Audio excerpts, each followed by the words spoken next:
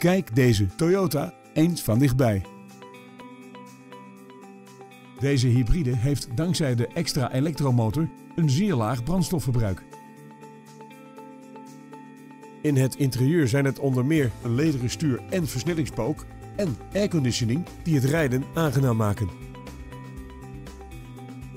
Met voorzieningen als ASR, elektronische remkrachtverdeling en LED dagrijverlichting bent u altijd veilig onderweg.